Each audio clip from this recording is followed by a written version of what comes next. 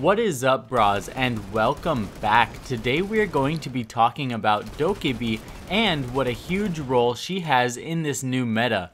Now, I've been getting a ton of questions asking about how can we stop the operators. They seem like they're so OP. Now, I know a lot of these questions are coming from people that haven't tried it yet before, but regardless of them having tried it or not, I know a lot of people have now that it has been on the TTS for a couple days. It's always good to know what the best counters are for certain operators. So for this one, we're going to be going over one of the best direct counters to Maestro, kind of break it down, look a little bit closer at him and some of the operators that we can really, really hard counter him with. If you guys have any questions that you guys want answered, be sure to leave them down below and I may select your question for the next topic that we go over. Now, there has been so much buzz and hype around the new operators in Alibi and Maestro, and I've even heard a lot of discussion about how Maestro and his new gadget could have a big impact and role in not just the upper levels of ranked and all levels of ranked, but also in Pro League. Now, we will just have to wait and see about that one because time, trial, and error will only answer that for us. I'm personally a little bit skeptical about those claims, because he is kind of like a different type of Echo where he needs to stay alive in order to use his gadget. And if he is to shock someone with his gadget, it doesn't interrupt actions such as planting the diffuser when Echo does. So if he's in like a 1v1 situation and they have to get the plant down and there's only a couple seconds left, Echo's really gonna shine in that encounter, especially now that he has two drones and if it interrupts the action and time is out, that's an instant win for the defenders. So yeah, like I said, it's definitely going to be time, trial, and error to see if maybe he'll ever get picked over Echo. I'm saying there's probably a time and a place for everything, but only time will tell. Now, of course, there are still a ton of things that if Maestro is in control of his gadget, he can do that Echo cannot. Even though it's stationary, Maestro is able to shoot out any types of drones that come along. He can even take out thermite charges and Hibana charges. Like I know Priest had a really, really clever video of him placing a Maestro camera inside of the kitchen watching over the hatch on Clubhouse. And then when Thermite came over, he was able to zap the Thermite charge and force Thermite to rotate down the stairs and he was able to take him out. So there's a ton of things that Maestro brings to the table that Echo doesn't.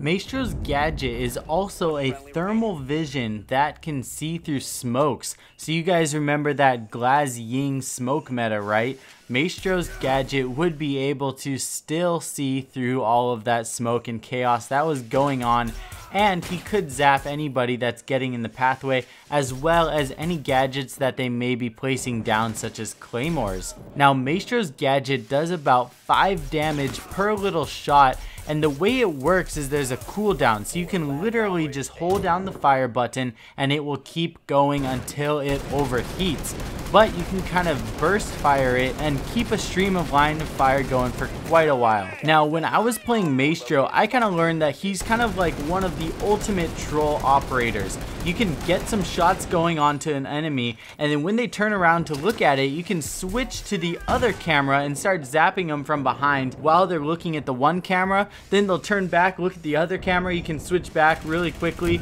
and it can get super annoying. It's a really, really funny troll, and it's really fun to do honestly. Now, those things may not even matter because arguably the biggest asset he brings to the team are his two cameras that can only be destroyed by a smack with sledge, explosives, and destroying the wall that it's placed on. Both shock drones and EMPs from Thatcher only temporarily disable the cameras. If Maestro chooses to never shoot anyone with his cameras, they will never be destroyed by bullets or melee hits. In order for them to be taken out by shooting them or by smacking them, or you could even twitch drone them if this is the case, he would have to be aiming down the sights which opens up the shield for the whatever, I'm just to call it the blaster for this video, and then that way they would be vulnerable. If he uses it purely for information for him and his teammates, which his teammates, yes, they can view it, it's very, very powerful gadget. Now, this is where Dokkaebi comes in and why it makes Maestro a very risky operator to play as as well. In the Pro League Finals, we saw a ton of Dokkaebi play. I think it was definitely more than any of us had anticipated. We saw some of the best players in the world using her, such as Kantoraketti, who was on Penta subbing in for Shatte, got second place in the finals. Now, with just the simple press of a button, the defender's phones go off and it makes it so much safer for the attacking team to make coordinated pushes.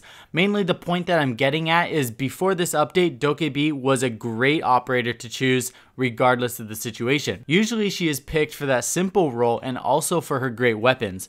If she happens to hack any defending cameras by taking a phone off of a dead enemy, it was pretty much just a plus at that point. While it is an annoyance to have your cam spot you as a defender and your, and your cameras to kind of betray you, it didn't have much of an impact since defenders can simply shoot out the cameras and they pretty much know where all of them are. Well, that's not the case with Maestros. Since Maestro's camera turrets can only be destroyed by explosives and sledge, that makes it insanely dangerous if Dokkaebi is able to get her hands on the defender's phone. She will be able to get on Maestro's turrets if she's able to hack a phone, and while she won't be able to shoot, Maestro's turrets are generally placed in or next to where the objectives are, maybe by where there's common anchors or where there would be common rotations.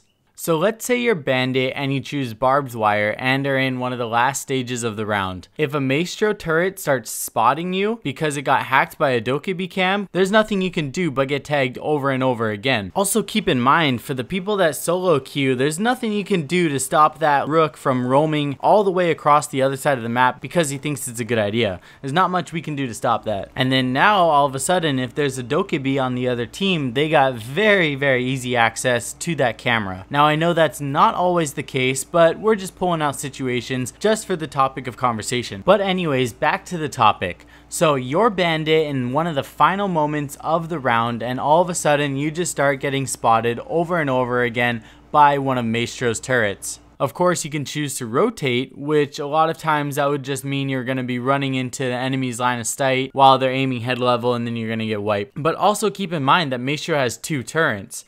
What I saw a lot of times were once I hacked into Maestro's turrets and started spotting defenders, they would try to rotate, but they wouldn't be aware of where the second Maestro or sometimes even the first Maestro was placed, and then they would end up just rotating straight into the line of sight of the second one. But say you're Bandit and you did choose to bring a C4, and for some reason it's towards the end of the round, it's in a 1v1 situation, Dokkaebi has hacked into Maestro's turrets and you haven't used your C4 yet. Are you going to choose to destroy one of Maestro's hacked turrets and to stop getting spotted and use your equipment, your one and only C4, and then just potentially get spotted by the second one anyways? I don't know. I guess it's really dependent on the situation and the player. Whatever you may choose to do, there's definitely a lot to think about with this new update and so many things below the surface to uncover as far as new strats. You guys probably saw in one of these clips here, I was spotting the enemy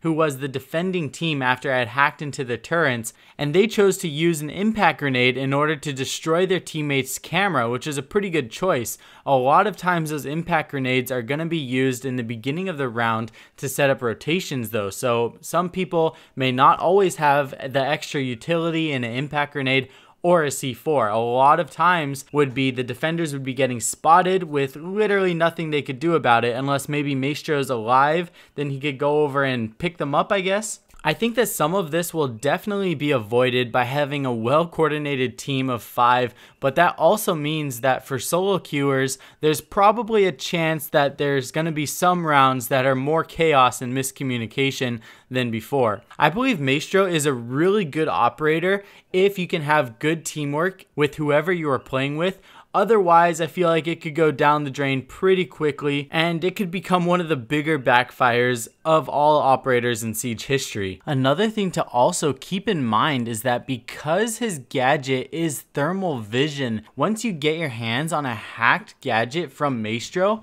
any alibis that are fake or any holograms that were placed will actually not be glowing. So this will help you communicate with your team which alibi is the real one and not to fall for the hologram. So Maestro is at risk of failing not just his own gadget, but also alibis the brand new other operator.